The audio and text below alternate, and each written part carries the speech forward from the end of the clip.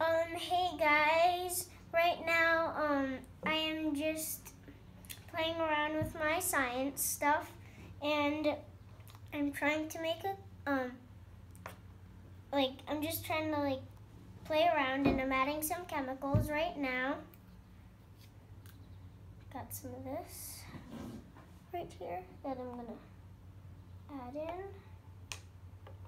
And dry it off right over here because you gotta dry it off and mix it all up. And like last night, guys, um, as I said, um, I was gonna do a science video today, and I am doing it now.